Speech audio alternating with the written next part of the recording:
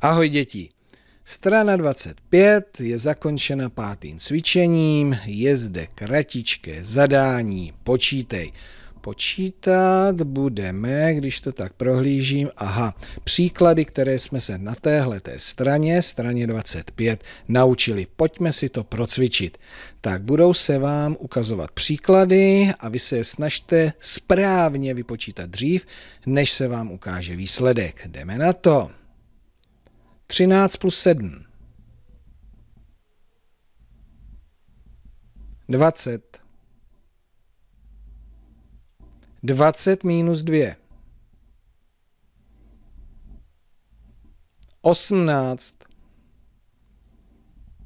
19 plus 1. 20. 30 minus 4. 26. Říkáte, že to je pomalu, jo? Tak fajn, jedem. 27 plus 3. 30. 20 minus 6. 14. 15 plus 5. 20. 10 minus 6. 4. 29 plus 1. 30. Stíhali jste? Pokud ano, tak jste opravdu borci a myslím si, že zvládnete tohleto cvičení úplně samostatně. Tak fajn, přerušte video a počítejte.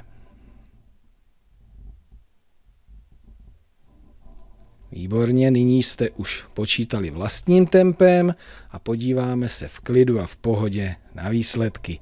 Tak výsledky prvního sloupečku. 20, 10, 30. Druhý sloupeček 30, 20, 30. Třetí sloupeček 17, 2, 26. Čtvrtý sloupeček 25, 3, 12.